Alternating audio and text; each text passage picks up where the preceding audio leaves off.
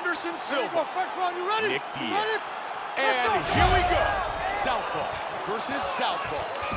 And a nice one-two with the right and the left. He connects with the straight. Another one lands.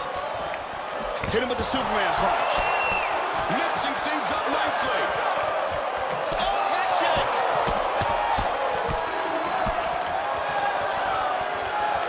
Look at that, right to the temple. The temple. spider with the combo that scored. He nailed him again. Welcome to the jungle. Solid connection with the straight by Silva. Oh, he tagged him again.